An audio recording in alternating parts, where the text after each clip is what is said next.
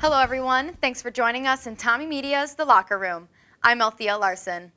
Ranked fifth in the region, the St. Thomas women's cross country team is preparing for this season's MIAC Championship meet in late October at St. Olaf, hoping to improve on last year's third place finish. Junior Martha Hubbell competed in her third race for the Tommies three weeks ago at a University of Minnesota National Invite, where she placed first out of 76 MIAC runners and fifth in Division III. Senior captain Amber Matzoll placed 10th in Division III at the same meet. I'm joined today by Coach Joseph Sweeney, Martha Hubbell, and Amber Matzoll. How are you guys doing today? Good, great to be here. Yeah, good. We'll start with you, Coach. Right. So, your runners had strong performances during the U of M meet. How much momentum does that provide going into the conference championship? Well, that's always a, a big meet, uh, just just really good competition. We raced with the D2 schools too, so we really we were really you know uh, in a in a big uh, a big a big mob, and they they uh, they came out of it really well.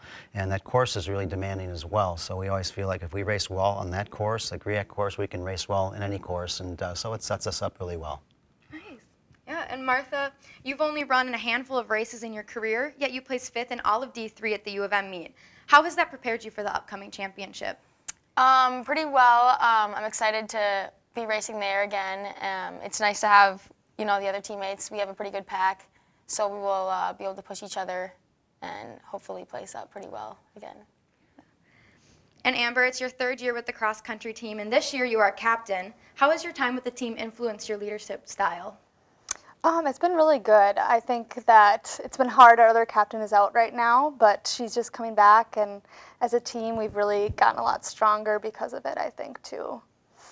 Nice, yeah. And then, coach, your team dropped out of the coaches poll this week and is no longer ranked nationally. How important is it to perform well at this upcoming conference? Well, I think we'll have a little bit of a chip on our shoulder. We think we belong in the rankings. We've gone to nationals four years in a row. We want to make it five, and uh, this is a particularly competitive group, and uh, sometimes they need a little prodding uh, to build confidence and, and really uh, you know, show them what they can achieve. And this group knows what they want to do, and I feel really good about them moving forward. I think we've got momentum. We're only going to get stronger the last part of the season. I think they'll carry that uh, attitude into the conference meet and uh, in, into regions, and our goal is to make it to the national meet again. Well, that sounds great. Thank you guys for so much for coming in today. Yeah, thank you. Yeah. All right. Be sure to check TommieMedia.com for St. Thomas sports coverage and campus news. With Coach Sweeney, Martha Hubbell, and Amber Matzoll, I'm Althea Larson. Thank you for joining us, and we'll see you next time in The Locker Room.